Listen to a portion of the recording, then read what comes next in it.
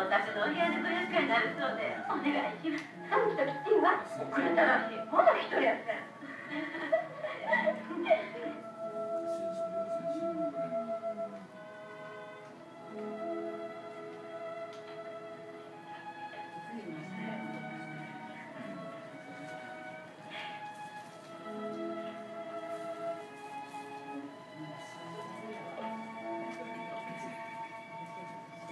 私たちの贈り物。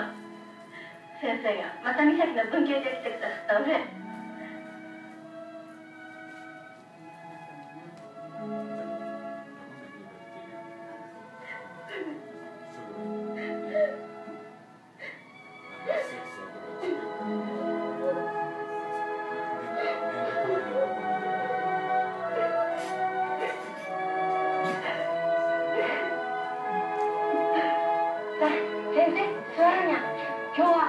飲まにゃな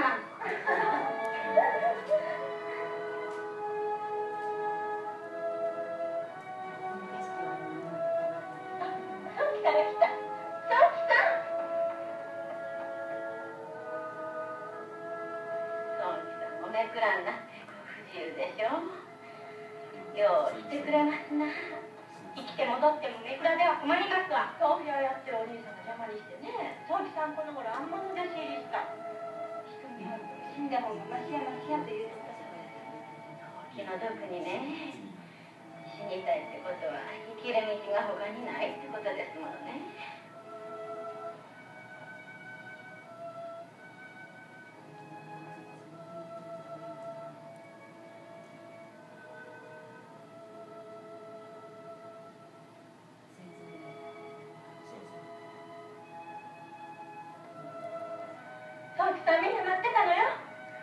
となりましてそう来たしばらく。